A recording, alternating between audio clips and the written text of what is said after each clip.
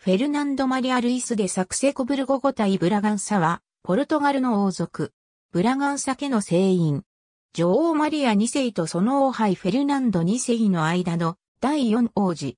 正式な洗礼名は、フェルナンド・マリア・ルイス・ミゲル・ハファエル、ガブリエル・ゴンザーガ・フランシスコ・デアシス・アントニオ、アポリナリオ。幼くして、カサドレス第五大隊所属の少尉に任官し、またビラビソザム現在の恩塾力士団勲章を排除した。